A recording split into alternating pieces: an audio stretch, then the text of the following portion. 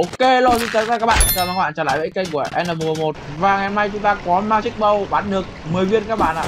Ok, ok thì um, hôm nay là mình vừa sắp được cho mình một cây uh, Magic Bow Legend và bán được tới tận 10 viên nha các bạn. Thì uh, tại sao mình lại phải bán được tận 10 viên với cái cung Legend này? Thì đây Thì trong phiên bản mới thì outfit sẽ dành riêng cho đồ Legend thì sẽ có cái hiện cái hình uh, nón vua này.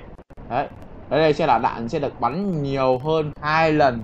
Nghĩa là bây giờ từ một cái magic bow bắn được 5 viên thì bây giờ để bắn tới 10 viên nha các bạn. Ok từ đây mình sẽ đứng ra góc này sẽ bắn cho các bạn. 10 viên luôn nha các bạn. Đấy các bạn bao lại các bạn đếm được. Đấy 10 viên. Rất nào xịn luôn các bạn ạ.